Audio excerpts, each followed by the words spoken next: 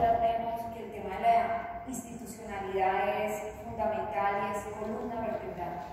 Y esa institucionalidad tiene que estar volcada bajo un esquema de poder generar políticas públicas de Estado eh, orientadas a este modelo de fijar institucionalidad y fijar esquemas de financiamiento para poder caminar hacia sistemas integrados multimodales y hacia políticas de movilidad urbana sustentable centradas en satisfacer al ciudadano con calidad.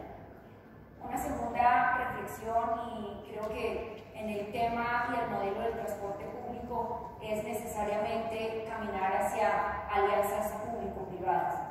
Eh, esas alianzas público-privadas, fundamental poder generar condiciones de relaciones de confianza, lo mencionabas, Diana, lo mencionabas también, Henry, sentarse a fijar condiciones de mejora en la operación con los concesionarios, con los operadores y transportistas no es fácil, pero en la medida en que el Estado pueda fijar estas condiciones, eh, que pueda poner unas reglas claras y que permita generar confianza con un aliado estratégico, creo que va a mejorar el camino hacia tener mejores sistemas de transporte. Y una tercera reflexión justamente estos espacios cada vez recobran más valor y más sentido la importancia de poder compartir conocimientos, poder compartir experiencias, poder compartir casos de referencia que nos ayuden a reducir esa curva de aprendizaje o la curva de la prueba del error y el ensayo.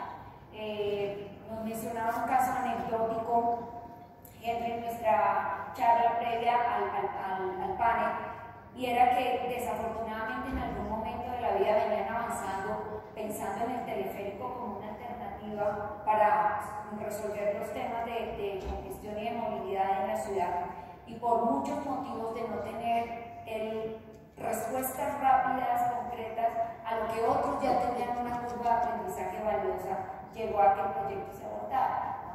Entonces, fíjense que esto de contarnos eh, recurra cada vez más sentido. Yo creo que todos tenemos mucho que contar, pero también tenemos mucho que aprender. Muchas gracias para todos y para nuestros eh, conferencistas. Por favor. Muchísimas gracias a Marta Lucía, secretaria